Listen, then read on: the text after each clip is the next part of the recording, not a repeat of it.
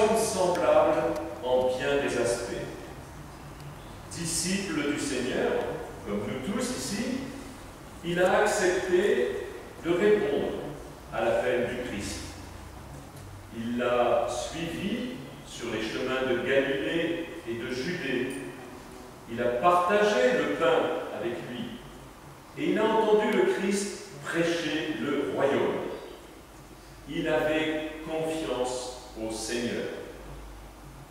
Mais les événements qui se sont passés à Jérusalem ont ébranlé sa foi. Celle-ci s'est progressivement lézardée, fragilisée. Thomas s'est mis à douter de Jésus. Nous aussi, mes sœurs, il nous arrive d'être ébranlés dans nos certitudes. Nous sommes entrés dans pour répondre à notre vocation, à notre appel. Nous avons été heureux de nous aventurer sur les pas de Dieu, mais la vie a apporté son lot d'épreuves, voire de désillusions, et, de, le doute a commencé à faire son œuvre en nous.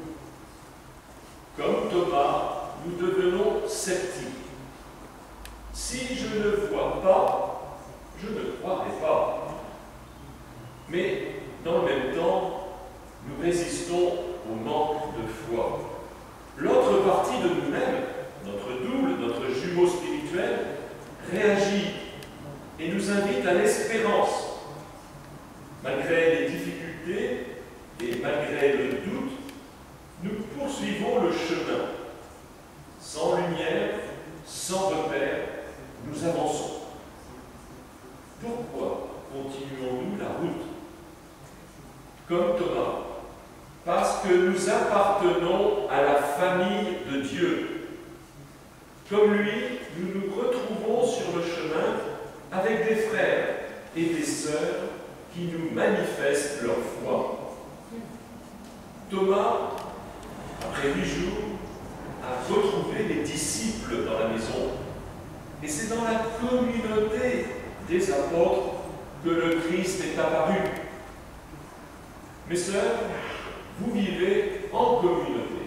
Nous vivons en communauté. C'est la famille de Dieu à laquelle nous appartenons. La communauté est le lieu privilégié de la rencontre du Christ, le lieu où nous voyons Jésus. Sans la foi de nos frères et de nos sœurs, nous sommes exposés à manquer de foi. Mais la communauté se construit sur la pierre angulaire et le Christ.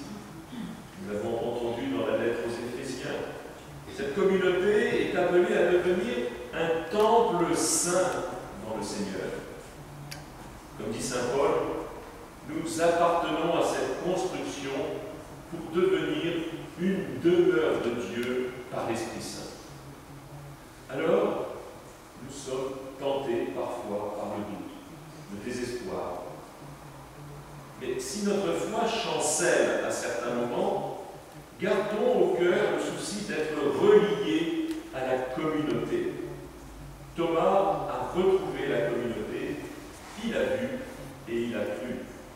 Peut-être que nous avons la tentation de fuir la communauté, alors que c'est là où nous retrouverons le Christ et notre foi. La communauté, c'est le temple de Dieu parmi les hommes. C'est l'Église. Et c'est là que nous verrons le Christ. C'est là que nous croirons. Amen.